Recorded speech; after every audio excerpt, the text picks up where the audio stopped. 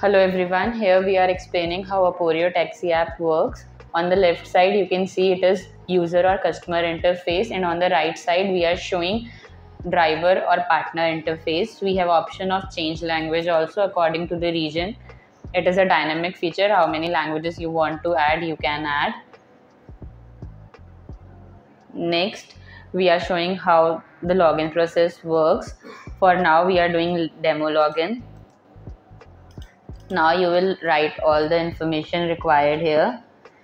This is all just for an example.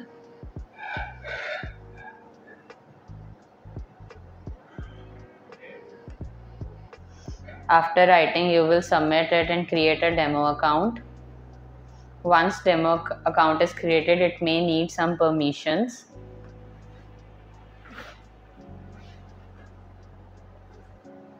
once the permissions is given you have you'll have this screen in front of you. Next the work is of user screen. Client will write wherever he or she wants to go so it will click on the destination.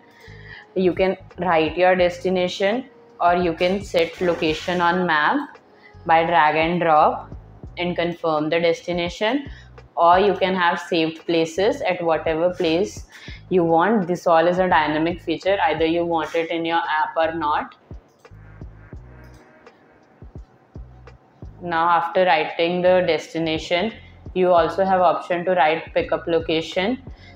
Uh, either you can write the pickup location or again drag and drop. This is all dynamic.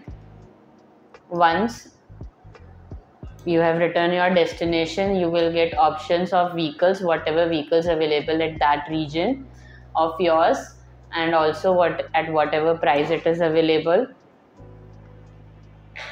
For now we will click on bike. This is a dynamic feature whether you want to show which vehicle at the particular region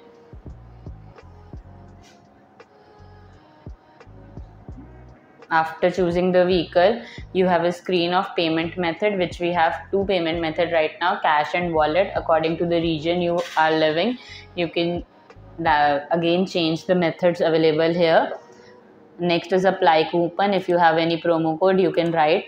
And if you're not then it's fine. And otherwise this is also dynamic. Either you want to show your customer apply coupon or not. Next is schedule ride you can schedule ride for a few days after or particular timing afterwards. Otherwise you can request ride right now. Once the you're requesting ride you have option of confirming your pickup location and also favorite drivers if you have done already. After confirming the pickup location the notification will come to the driver. On the driver screen you can see there is a timer going on it's of 100 seconds for now but it's a dynamic feature. Whatever timer you want you can go. Next here is a taxi ride normal kilometers and timing. This is a dynamic feature. If you want that the driver has shown this then it will be shown otherwise it won't. Next is amount and cash. This is also once again a dynamic feature. This is because uh, if the amount is low or if it's prepaid or cash because driver may prefer something else and won't accept the ride. Next is pickup location and drop off location. Pickup lo- pick off location is mandatory. And next is drop off location. It, it is also not mandatory. It's dynamic whether you want to show your driver the drop off location or not. Once reading all the information if it suits to driver driver will accept the order by clicking on accepting order once clicked on accepting order driver will have three features. One to call. Next is to navigate it to the customer by using map. And third is chat in itself in the app also. Similarly customer also have two options call or message the driver. Once driver is arrived at the location driver will click on arrive after clicking on arrive there is an option to start ride. To start ride you need to give an otp uh, which is given to customer and customer will give to the driver but it is also a dynamic feature. If you don't want that otp is there then you can delete that. There is also an sos button given to driver similarly as to customer also in case of any emergency.